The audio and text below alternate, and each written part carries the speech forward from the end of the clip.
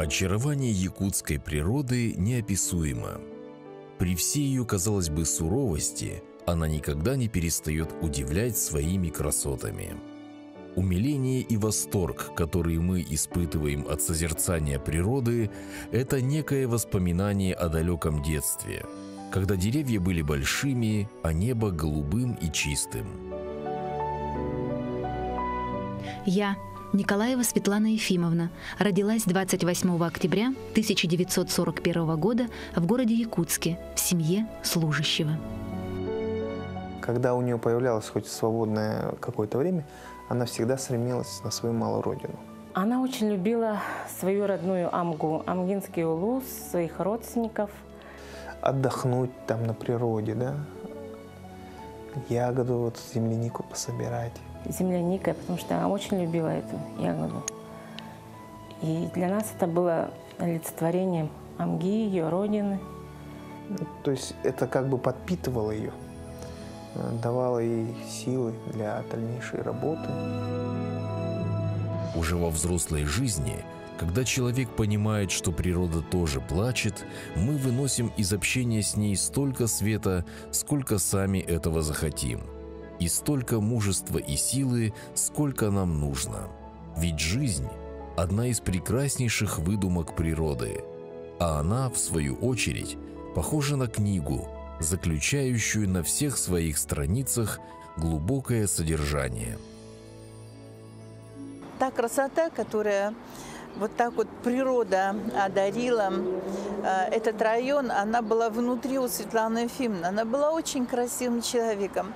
Она даже когда говорила очень серьезно, у нее все, все равно как-то лучились по-особому глаза и улыбка. Она улыбалась, улыбалась всегда изнутри.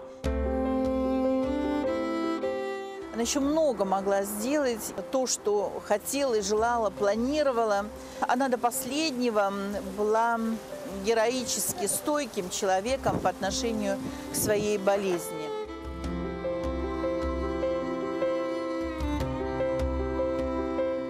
Перед тем, как мы узнали о ее болезни, она уже знала о том, что она заболела, но всячески скрывала это. Она взяла, вот как-то так настояла на тот момент, э, взяла вот старшую свою внучку, Олю, э, мою дочь, и поехала в Амгу. Мне было очень приятно от того, что бабушка хотела и мне показать все это. Она любила делиться всем с людьми. Она любила делиться своими воспоминаниями, своими вещами, любила делиться всем-всем-всем, что она может дать. И мы пошли на эсэх. Это был очень запоминающийся эсэх для меня. К сожалению, в тот день шел дождь, но несмотря на это, у меня остались очень приятные воспоминания от того, что бабушка сопровождала меня там. Я все-таки понимаю, что она в тот момент уже понимала, что она своего рода прощалась. Вот. И я помню ее улыбку. Она очень любила посещать СХ на Амге каждый год. И мне эта улыбка запала далеко в душу. Милая улыбка бабушки – это всегда светлый образ любого внука. Однако за этой нежностью и любовью стоял крепкий и сильный духом человек – Подтверждением тому, конечно же, служили поступки и деяния Светланы Николаевой. И в какой бы области она ни работала, все ей удавалось. Прежде всего за счет внутренних качеств. Стоит отметить, что этим качеством она обязана и своим родителям. Ведь Светлана выросла в семье, где царил культ образованности, трудолюбия, взаимоуважения и выручки. Отец Николаев Ефим Петрович, уроженец Амгинского района, боец отряда ЧОН, один из организаторов первых колхозов в районе, трудился в свое время на разных должностях партийно-советской работы. Наш дедушка Ефим Петрович был очень образованным, эрудированным человеком. Он одним из первых из народа Саха окончил э, Московский государственный университет э, кооперативной торговли – он стоял у истоков потреб кооперации, вот, кооперативный техникум, он был одним из преподавателей в, это, в этом техникуме. Она рассказывала, что У него была такая смешная бородка, и она любила в детстве ее ею играться, как все маленькие дети. Он ставил, развивал в своих детях способность к ораторскому искусству. Потому что он говорил, что если вы хотите влиять на людей, вам нужно уметь правильно говорить.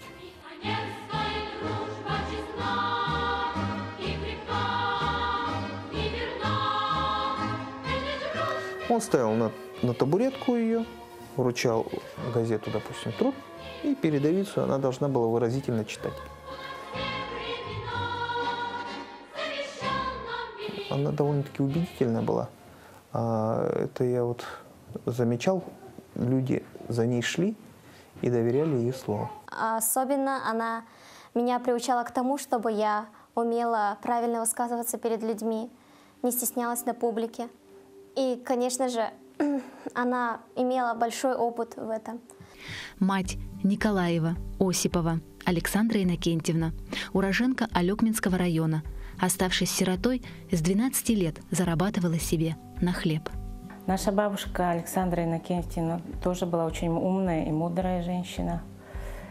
Многие родственники ее называли наш генерал или Тайшура – Поэтому с детства мама, конечно, впитала в себя дух образованности, добросердечия, трудолюбия, готовности всегда прийти на помощь, честности и справедливости. Мои родители воспитали пятерых детей, в том числе двух родных. При огромной помощи советской власти, будучи пенсионерами, создали условия четверым получить высшее образование. В этой семье уделялось большое внимание общественной работе на благо людей. Все это предопределило дальнейшую жизнь яркого комсомольского лидера. Ну, это участь, она была старше меня, но тем не менее, когда девочка ведет в школе активную жизненную позицию, когда она там лидер, о ней знает весь поселок. И мы знали тогда, что Светлана Николаева. Она лидер школьного движения. В 1948 году я пошла учиться в нулевой класс Бетюнской начальной школы Амгинского района. В 1951 году принята в ряды юных пионеров. В 1956 году вступила в комсомол. Член КПСС с 1969 года.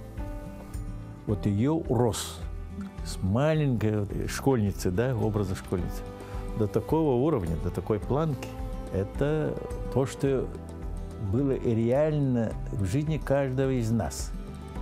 Вот она доказала, и она может сейчас быть примером для представителей молодого поколения. Вот когда молодой человек вовлекается в общественную деятельность, живет именно общественными интересами и так далее, вот э, это приводит именно к таким, такому росту, интеллектуальному росту, индивидуальному росту. По окончании Амгинской средней школы два года проработала там же, сперва старшей пионер-вожатой, затем учительницей начальных классов. В 1962 году стала студенткой ЕГУ. Окончив, получила специальность учителя математики. В период с 1967 по 1974 годы Светлана Ефимовна занимала пост первого секретаря Амгинского райкома комсомола, а затем и секретаря Якутского обкома комсомола.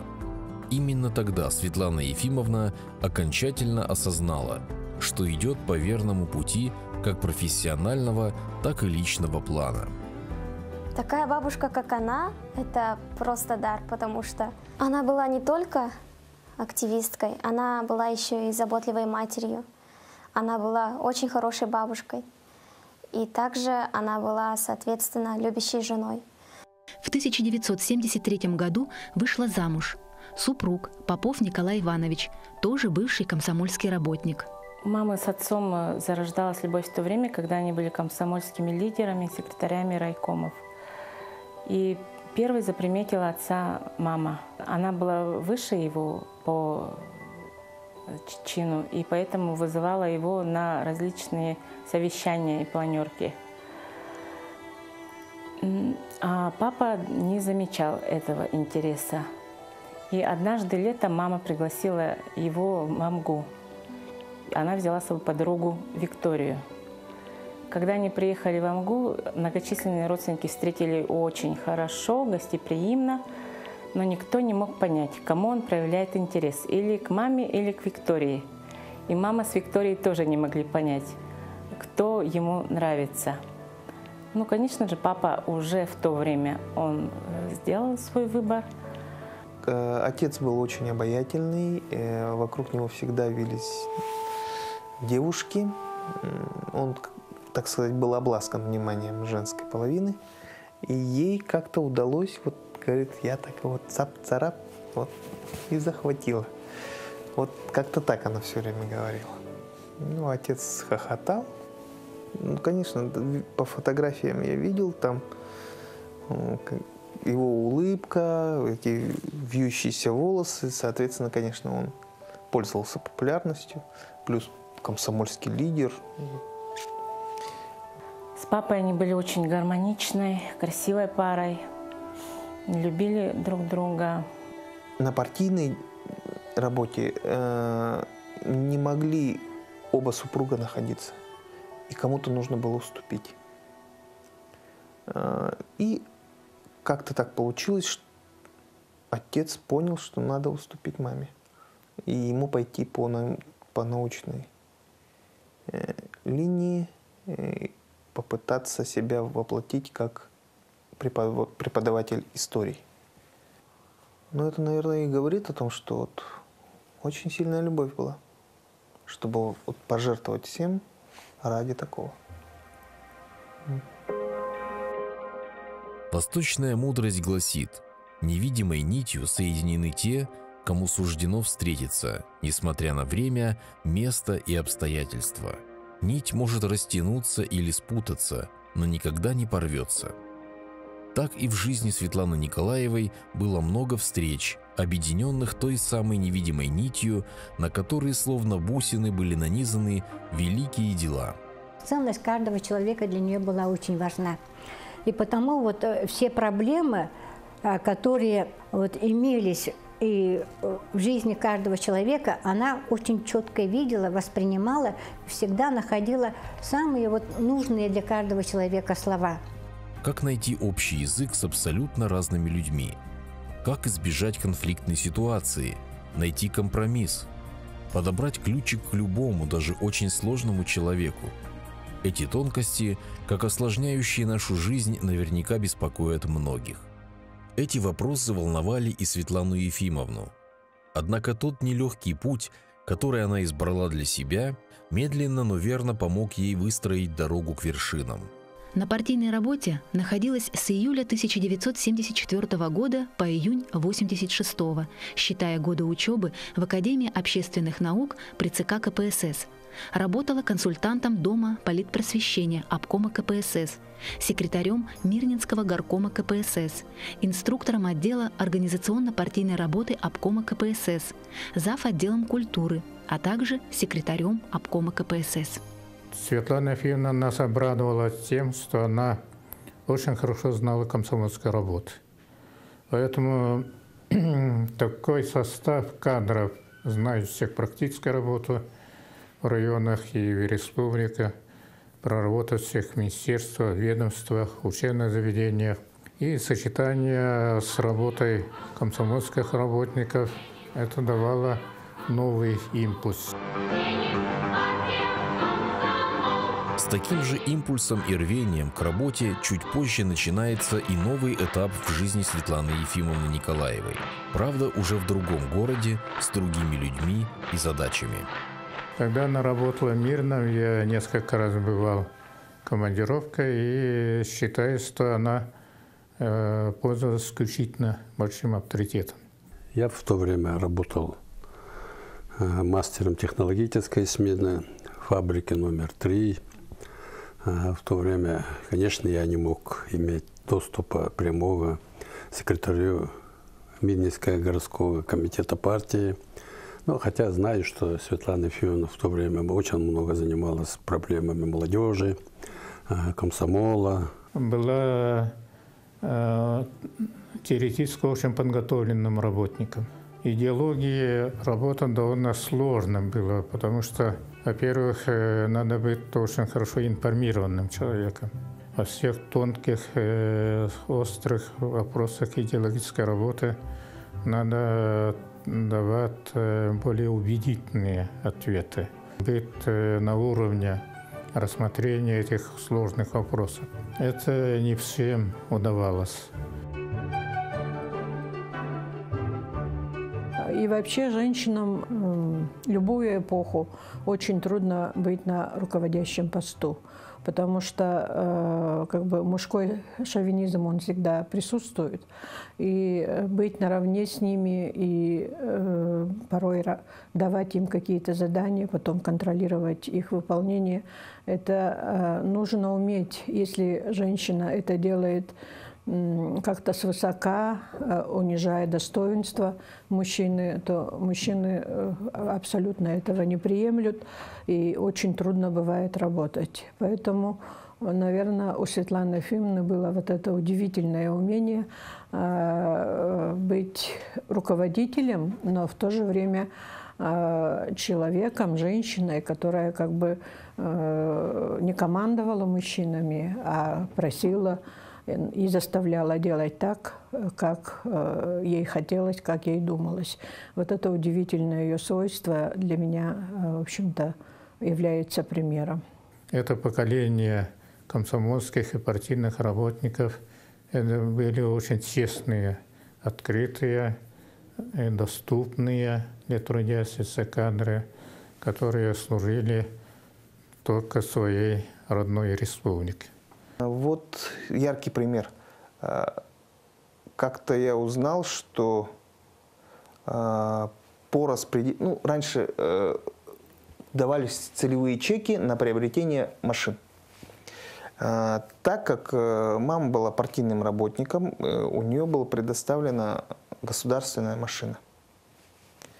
Соответственно, когда ей поступил целевой чек по распределению, видать, откуда-то оттуда, сверху, она на ближайшей свадьбе его вручила молодоженам. На вопрос, а почему ты, надо было своя машина была? Как, зачем? У нас же была государственная машина. Меня возят на работу, привозят. А зачем нам еще машина? Если нужно, сел на автобус, он доехал до дачи или куда ты хочешь. Зачем тебе машина? Не положено. Вот такой подход был. Личного имущества не должно быть потому что это э, как бы, я так понимал, что это отягощает и отвлекает от работы, важной работы партийной. И я замечал это фактически у всех это было.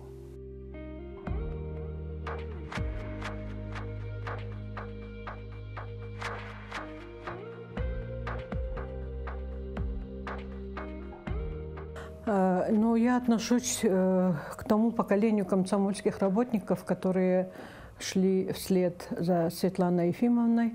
У ней э, была такая способность э, открывать перед человеком какие-то перспективы, дороги, которые он порой не видел. Я помню, что в наших разговорах она всегда мне говорила, что эта работа все равно тебя чему-то научит, и ты приобретешь опыт, и э, куда ты стремишься, значит, э, к чему ты стремишься, что ты собираешься делать в этой жизни, э, этот опыт будет не бесполезным. И оно так и оказалось, поскольку работая в комсомоле, и в партии, она наложила определенный отпечаток. И сегодня я думаю, что если какие-то организаторские моменты мне удаются, наверняка это школа и выучка, которую я прошла в этих э, партийных органах. А позже мы уже встретились, когда она работала министром культуры. С 10 июля 1986 года решением Бюро обкома КПСС направлено министром культуры Якутской АССР. На этом посту она проработала до 1990 года. Тогда в деятельности Министерства культуры произошли существенные позитивные изменения. Этот период ознаменовался созданием районных методических центров, развитием музейной деятельности, агитационно-культурных бригад, клубов и театров. Светлана Ефимовна внесла очень огромный, я считаю, вклад в развитие культуры нашей республики. И мы это знаем, а, поскольку в те годы, когда она была министром, как раз и происходили кардинальные изменения в культуре. Это наша память. Она знала о театрах все. Знала каждого, к ней могли подойти, не стесняясь, что это такой большого чина руководитель. Она всегда принимала участие в нашей гастроли. Но самое, что удивительное для меня, как показатель человеческого ума, такта, культуры, это когда были гастроли 89-90-е э, годы в Усть-Каменогорске. 14 июня 1990 года в Восточном Казахстане Зайсанского района произошло сильное землетрясение, происхождение которого для ученых-сейсмологов до сих пор остается загадкой – Однако для тех, кто в этот момент находился в театре на спектакле якутских артистов, было не до уловок природы.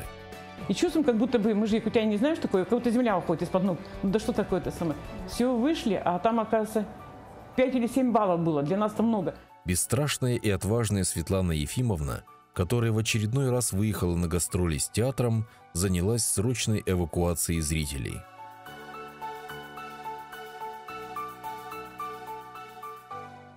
Это просто человек э, высококультурный, образованный, да, душевной тонкой, тонкой организации. Ну вот знаете, я ее сейчас помню вот в розовом платье, помню в синем костюме ее. Я, я все не помню, ее стрижку, ее теплые такие замечательные глаза, такие с какой-то, знаете, немножечко даже с какой-то с грустинкой, я бы сказала. Она всегда смеялась, но какая-то грустинка, она всегда прослеживалась. Вот бывают такие люди толерантные, которые никогда не... Э, нет, вот, знаете, внутри чего-то такого недоброго, что называется. И когда я однажды зашла в ДП-2 и увидела ее портрет, что ее нет, я просто отошла. Просто не хотелось мне верить, что ее больше нет, потому что вот мне казалось, что она будет вечна, и всегда ее буду встречать где-то на какой-то улице.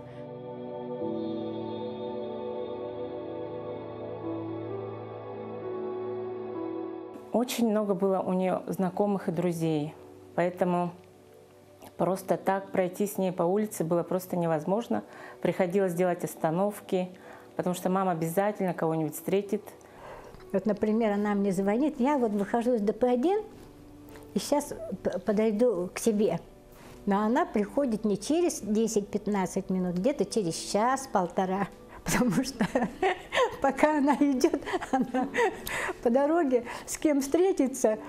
Один раз понадобилось нам пойти в магазин. На эту 15-минутную прогулку мы где-то потратили часа два, потому что ну, буквально каждый прохожий это был ее какой-то знакомый, с которым нужно было, конечно же, встретиться, пообщаться, поговорить, последними новостями обменяться, меня представить, показать. Вот мой сын. В конечном итоге я сказал, мама, все, стой здесь, разговаривай, я быстренько схожу, то, что нужно, куплю и вернусь. Я вернулся, она все так же там и стояла, и опять же уже новые лица, новые люди. Вот такой она была человек. Когда мы ходили по парку, там везде, везде она находила знакомого человека, и все с ней здоровались. Всегда ко мне заходила, я все время думала, такая женщина занятая. Как она находит время? Просто удивительно, находит время с каждым вот посидеть по полчаса там. И думаю, у нее, наверное, пять-то минут нет.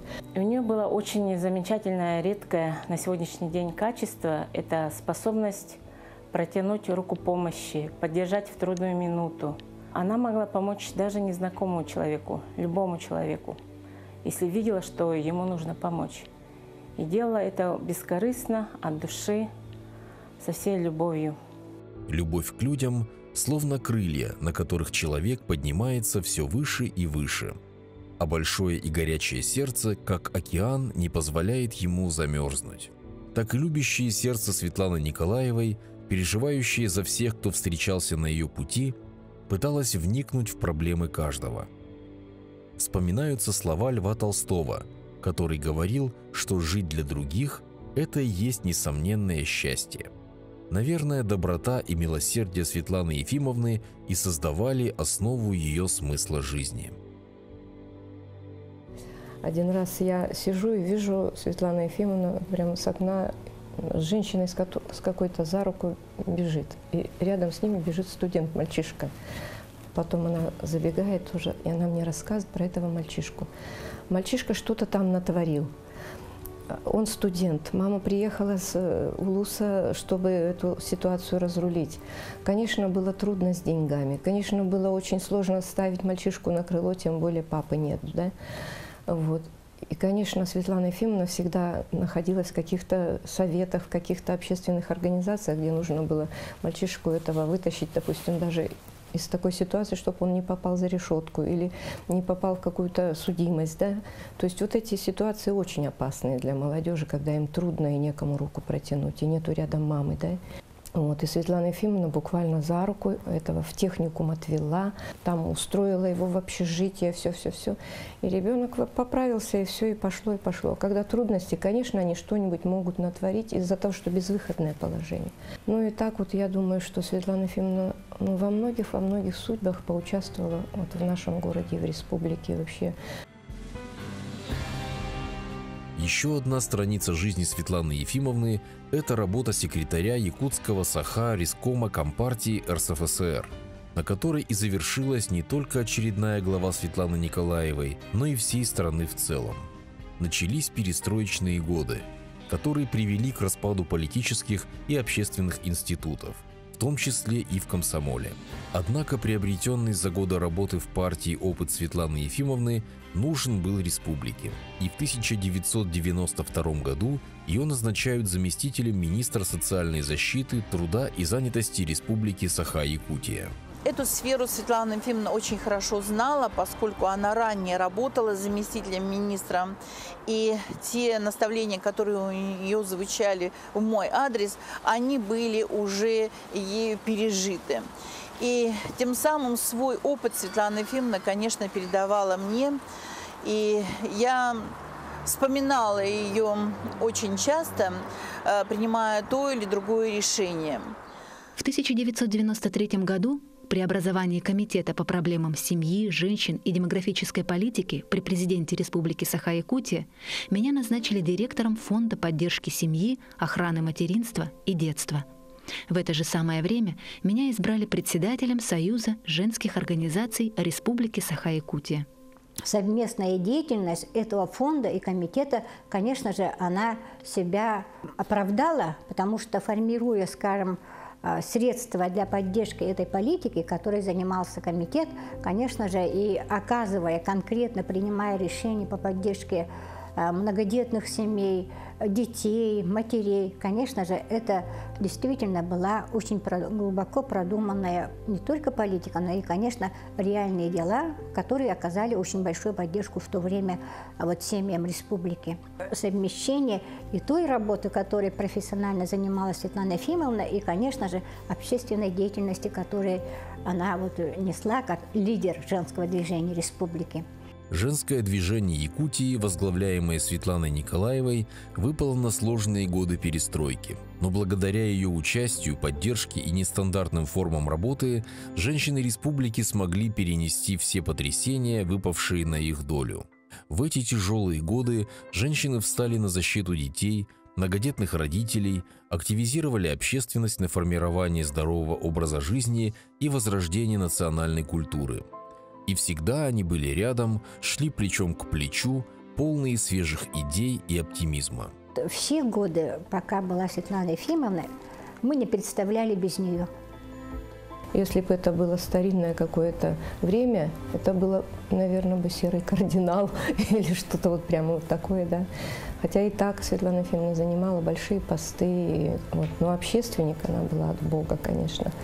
Вот ее имя Светлана это как бы имя излучает свет, добро, энергию и дарит людям радость. И действительно, в самом имени Светлана уже заложены и свет, и чистота помыслов. А доброжелательность, общительность, эмоциональность и улыбчивость лишь дополняют образ ее дипломатичной натуры. Настойчивое и решительное умение в самые важные моменты жизни взять судьбу в свои руки возвышает ее до небес. Только такого человека можно назвать настоящей звездой. Светлана Ефимовна для меня является той яркой звездочкой, женщиной, которая именно самой яркой женщиной в женском движении Якутии 20 века. Таких женщин с таким характером, с таким отношением к людям очень мало. И мое счастье в жизни, что я встретила Светлану Ефимовну, и мне посчастливилось с ней работать в течение долгих 20 лет. И она всегда была рядом с нами. И для каждого действительно, наверное, она являлась тем человеком, и каждый для себя считал, что она для нее единственная подруга, наставник. А таких было тысячи. И каждый из нас думает, что она для нас только единственная. Это вот отличительный характер Светланы Ефимовны. Вот у ней была очень хорошая привычка. Кайда нахкан, кайдахканы. Ну, вот это какое-то вот э, именно такое обращение человеческое к тебе конкретно, э, с таким искренним, скажем, желанием услышать тебя, узнать, вот, чем ты живешь, какие заботы, какие проблемы. Ну, конечно, э, человек не может не откликнуться на именно такое отношение, потому что все-таки вот это действительно то богатство, которое дается человеку так. Она заходила и говорила, Галя, давай ставь чай. И вот мы с ней сидели и пили чай.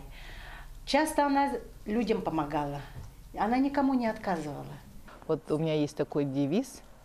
Э, мы не делаем великих дел, но каждое маленькое дело мы делаем с великой любовью. И это очень относится к Светлане Ефимовне. Она делала очень много маленьких добрых дел и не считала, что она делает великие дела. Едва ли кто поспорит с этим, ведь маленькие добрые дела, совершенные от великой любви и идущие из самых глубин сердца, поистине приносят радость и умиротворение. В этом и состояла жизненная позиция Светланы Николаевой. Но со Светланой Ефимовной связано то, что мы с ней вместе отработали несколько проектов. Тогда давно-давно открывали пансион «Розовый слоненок». И там вот как раз и ребятишек с районов принимали, и на лето и принимали на президентские елки, приезжали. И настолько вот эти проекты были всегда солнечные, настолько они были вот зарядные действительно, что дети уезжали и все время потом даже писали нам письма очень долгое время «Спасибо, спасибо, и можно мы еще раз приедем». Светлана Ефимовна всегда была рядом, всегда была рядом. Я помню, у нас были швейные машинки, мы только их, э, это, значит, выстроили в ряд и думаем, ну, мы будем фабрику мягкой игрушки открывать. И вот мы эту фабрику открыли, нарезали так много-много цветных, э, значит, вот этих собачек там э, в подарки к Новому году шили. Вот, и приготовили это все. И когда мы нашили этих собачек, собачки у нас очень быстро разошлись, потому что мы все время ездили то в детский дом, то в разные, значит, больницы. Со Светланой Ефимовной всегда что-нибудь, какой-нибудь проект э, осуществлялся от Союза женских организаций. Только Светлана Ефимовна позвонит, Толя, вот то-то, то-то. Хорошо, девочки, сегодня вот то-то, то-то. И мы как-то все время целенаправленно что-то хорошее делали в жизни. И я думаю, что это очень значимо, что был возле меня такой человек. В трудные минуты она всегда рядом. Вот в моей жизни, когда пришлось отстаивать кое-какие вопросы по работе, кто был рядом со мной? Со мной были лидеры женского движения во главе Светланы Ефимовны. Человек с колоссальным жизненным опытом. И она мне всегда говорила, Анжелика. Важно, чтобы люди знали историю женского движения Якутии. Мы должны передавать знания будущему поколению – Необходимо привлекать женские массы к движению. Это ключ к росту самосознания женщин. Без прошлого нет настоящего. Без настоящего невозможно творить будущее. Она это говорила очень просто, ненавязчиво, а такой глубокий смысл этих слов. Она всегда говорила, самое главное в жизни, где бы ты ни работал, кем бы ты ни работал, надо всегда оставаться человеком и относиться к людям так, как бы ты хотела, чтобы относились к тебе. И эти золотые слова я запомнила на всю жизнь. И сегодня Совет наставниц, возглавляемый в свое время Светланой Ефимовной, он продолжает эту деятельность, воплощает мечты Светланы Ефимовны в жизнь. Благотворительность – это еще одна часть работы женского движения. Ведь оказание бескорыстной помощи тем, кто в этом нуждается, обычно находит отклик в душе таких трепетных людей, как Светлана Николаева и ее сподвижницы. Так, например, большую поддержку женское движение оказало и организации благотворительный фонд «Праздник жизни». И когда мы начали сбор подписей за строительство онкологического центра, Светлана Ефимовна, будучи больной, она собрала очень много подписей. Она каждый день приносила пачками подписей. А, она собирала в больнице, она собирала у своих подруг, всех своих вот э, соратниц, женщин собрала, чтобы подписали за строительство онкологического центра. Я вот всегда ее считаю наставником, поскольку когда она советовала, она всегда говорила, Алена, ты делаешь, ну вот э, такое дело, ты работаешь, работаешь на земле, держись, молодец. И всегда вот как-то так вдохновляла и всегда поддерживала. Каждое новое дело, каждая новая, скажем, идея, инициатива для нее, для нее действительно были ценны. И она всегда вот старалась найти именно те механизмы реализации, чтобы идея человека или, скажем, какое-то новое дело, которое начиналось, всегда становилось реальным. Благодаря ее вот большому опыту все-таки вот первое становление общественной палаты состоялось. Не я вот все равно вот, вот считала, считаю, что это в этом ее большая заслуга. В свое время, будучи членом Общественной палаты Якутии, Светлана Николаева говорила – нам всем миром надо решать одну из девяти важнейших задач, поставленных перед Общественной палатой Якутии.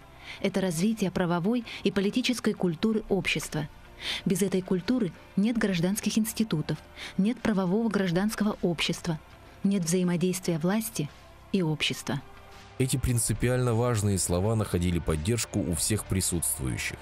Поэтому для Светланы Ефимовны большое значение имело и то, кто будет работать на развитие поставленных задач. Она, когда мы собрались в новом, э, то есть составе э, общественной палаты на первое заседание, когда решался вопрос о председателе, вот она выдвинула мою кандидатуру. Ну и после этого все вот голосовали за э, меня. Вот я за это очень благодарен, хотя, конечно, я не соглашался и так далее, но я положенный срок проработал председателем э, общественной палаты, и неплохо, по-моему, э, работал. Почему я об этом говорю? Потому что она до последних дней вот оставалась очень принципиальным, именно верным своим друзьям. Причем это была не такая дружба, а дружба Э, основанная на обществе интересов, так, на единстве взглядов на те или иные события, э, на восприятие тех или иных событий с точки зрения именно вот оценочных и так далее. Вот она вот это знала, э, я вот это очень, поэтому очень высоко ценю. Новое тысячелетие у Светланы Ефимовны началось с новой страницы – в 2000 году я стала общественным помощником депутата Государственной Думы Российской Федерации Виталия Басыгысова.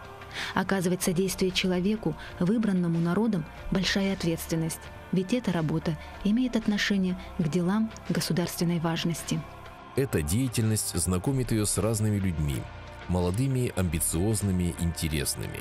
Но и их она одаривала своим богатым опытом, мудрым взглядом и искренней улыбкой – меня всегда удивляло в Светлане Ефимовне а, сочетание, казалось бы, несочетаемых свойств, таких как а, принципиальность, настойчивость, а, конечно, с определенной последовательностью, с какой-то очень женской мягкостью и мудростью.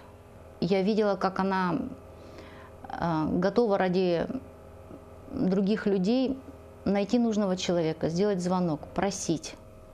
Потому что я она всегда говорила, ты знаешь, говорит Сальдана, за других просить говорит, не трудно, и это даже как бы вот э, чувствуешь себя полезным.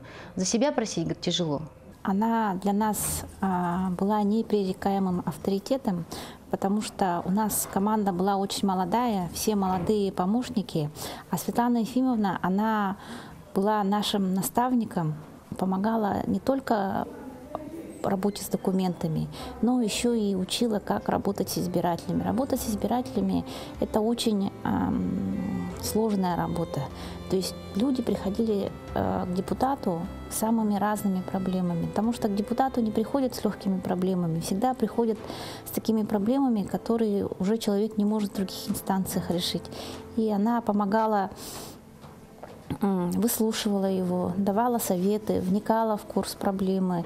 И глядя на нее, мы тоже учились э, проникаться проблемами другого человека, чтобы относиться к своим обязанностям не по-формальному, а именно по-человечески пытать, пытаться понять и вникнуть. Уважаемая Светлана Ефимовна, вы относитесь к тем мужественным и сильным духом людям, чем многолетний вдохновенный труд вызывает искреннее восхищение жителей республики.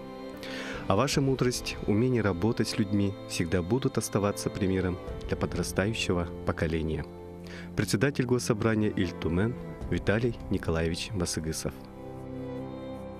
Ну и были моменты, когда мы с ней разговаривали вот э, уже просто по-женски. Она всегда говорила о том, что она очень счастлива в своей жизни. Единственное, что, может быть, она бы чуть-чуть исправила, она мне говорила, Сардана, говорит, Сардана, старайся как можно больше быть со своей семьей. Дети вырастают быстро, дети вырастают быстро, и э, говорит, уже ничего невозможно вернуть, когда они взрослые. Они вырастают, и все. С детства помню, наш дом был всегда полон многочисленными родственниками, которые приезжали не только Э, поступить э, на учебу и продолжать дальше учиться, но и просто некоторым негде было жить. Светлана Ефимовна была очень такой уютной, такой домашней. Она всегда для нас находила время и э, нас учила быть полезным обществу, всегда быть открытым для людей и никогда не, не говорить о людей плохое.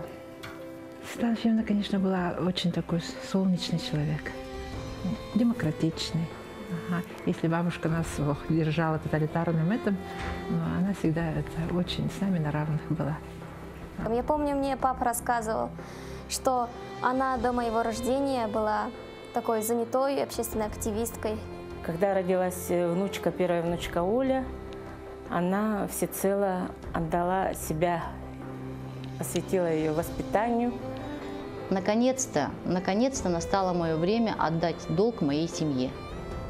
Я, говорит, занимаюсь внуками, мы, говорит, общаемся с Николаем Ивановичем, говорит, с утра до вечера мы с ним болтаем, говорит, чай пьем, говорит, и поэтому она выглядела, конечно, очень умиротворенной. Она обещала своему сыну, моему отцу Ефиму Николаевичу, что она перестанет бегать по этим делам и будет следить только за мной. Но через месяц она постепенно начала пропадать. Э, даже она водила ее с собой на собрание муняхи. И Оля говорила, наша бабушка работает на муняхах.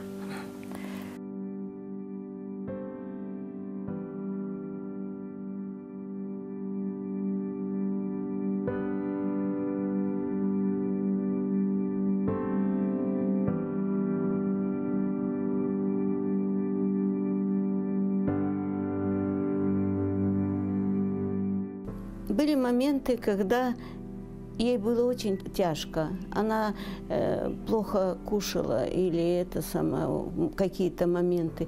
Но она никогда не жаловалась и говорила, а мне все хорошо. И никогда не говорила о том, что ей плохо, что ей тяжело. Э, вот, э, она решала сама все и сама, скажем, переносила эту боль я никогда не сдамся. Я все буду. Э, все невзгоды пройдут, и я выздоровлю. О Всеблагая Досточудная Богородица, Пантанаса Всецарица, несем достоин выедешь под кров мой, но яко милостивого Бога, любоблагоутробная Матерь, Рцы Слова, да исцелится душа моя и укрепится немоществующее тело мое, и Маши бы державу непобедимую, и не изнеможет у тебя всяк глагол, о Всецарица. Да прославляю преславное имя Твое всегда, ныне и в бесконечные веки. Аминь. Было такое впечатление, что она бы обняла всю, весь наш земной шар. Она очень любила всех. И, как все сказали, она была готова прийти всегда человеку на помощь в любую минуту. Мы, конечно, очень осиротели с уходом Светланы Ефимовны. Стараемся держаться в одном строю. Нам это дается очень трудно. Я считаю, что Светлана Ефимовна ну, прошла очень содержательный, богатый событиями и по значимости так, э, деятельность, жизнь она прошла. И потому мы ее не забываем. И я уверен, что не забывает ее и весь наш народ. Потому что она всю жизнь отдала именно своим братьям, сестрам, людям, живущим в Якутске, своей нации, которую она очень-очень любила и хотела ее всегда прославлять.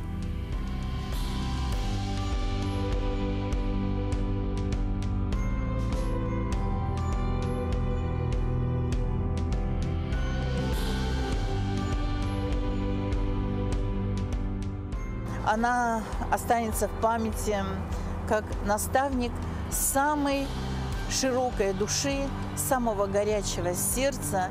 И эм, эту память мы пронесем, конечно, через все годы. Светлана Ефимовна, она как сейчас, живая передо мной, улыбается при встрече со мной. И я ее такой и хочу запомнить и сохранить. Светлана Ефимовна жива во всех сердцах, с которыми она работала, с которыми жила. Мне кажется, она и ушла с мыслью только о семье, о родных, о дочери, о сыне, о самых близких. Это. Очень сильно любила нас, говорила нам такие приятные, теплые слова. И у меня до сих пор остался в душе след от того, как она ласково со мной обращалась, как она, как она меня любила. И я люблю ее в ответ точно так же. Мне приснился сон, как она ко мне явилась во сне и вручила э, в подарок э, эти якутские серебряные серьги, очень большие и блестящие. И я после этого сна я уже поняла, что у меня будет девочка. И назовем ее Светлана Ефимовна в честь нее.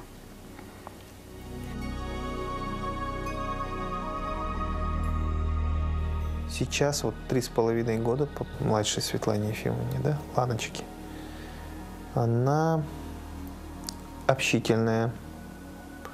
Ну, наша бабушка вернулась э, в нашей Ланочке. Э, потому что э, вот, даже когда она только начинала говорить, она такие слова выдавала, которые знала и, и могла употребить только наша бабушка говорит, ребята молодцы. Почему-то как бабушка также озвучивает э, э, эту похвалу. Ее жизнь – это яркий пример, конечно, тому, как человек служит своему народу, своей родной Якутии. Сегодня о деяниях политического и общественного деятеля республики Светланы Ефимовны Николаевой знают многие – Этому способствуют и именные премии, и различного рода мероприятия, посвященные ее памяти.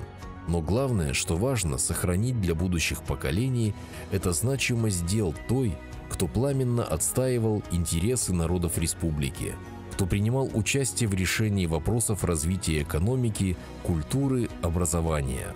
Особенно, если этот искусный оратор, политический борец и признанный руководитель – хрупкая женщина, из которой идет яркий свет души.